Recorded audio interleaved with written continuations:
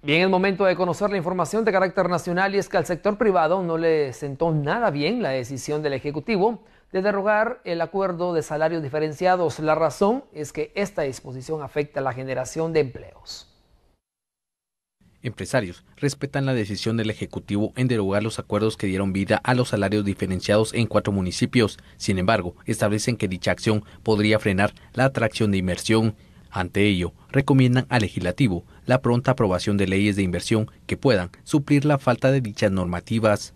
Este mecanismo de los salarios diferenciados diferenciados lo que buscaba era dar una respuesta por parte del Ejecutivo a la falta de una legislación que permitía mediante incentivos fiscales promover la inversión en, en, el área rural. Por eso es que nosotros creemos que la solución debe ser integral, en el sentido que haya una ley de inversión y empleo que verdaderamente fomente la atracción de inversiones, que incentive que inversiones se establezcan en el área rural de, de Guatemala mediante eh, estas exenciones fiscales que van a ser atractivas a empresas.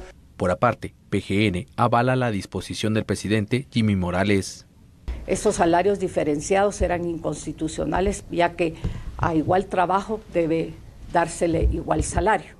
Y durante el gobierno del licenciado Alejandro Maldonado, la Procuraduría nuevamente eh, se opuso en virtud de que venía sosteniendo un mismo criterio de que no se le puede pagar a un trabajador de una maquila que está haciendo exactamente lo mismo en un municipio que en el otro, pagarles un, un salario mucho menor.